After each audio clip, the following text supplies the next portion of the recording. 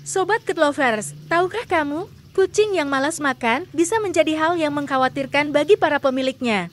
Ada beberapa faktor yang dapat menyebabkan kucing malas makan, seperti penyakit, infeksi virus, bakteri, parasit, atau penyakit kronis lainnya dapat menyebabkan kucing kehilangan nafsu makan.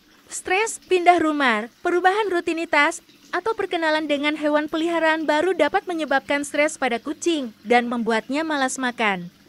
Kebosanan kucing yang hanya diberi makan jenis makanan yang sama setiap hari mungkin bosan dan enggan memakannya.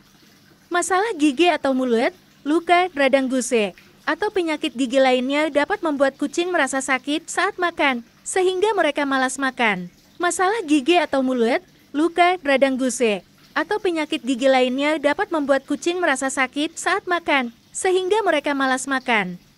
Obat-obatan Efek samping obat-obatan tertentu dapat menyebabkan kucing kehilangan nafsu makan.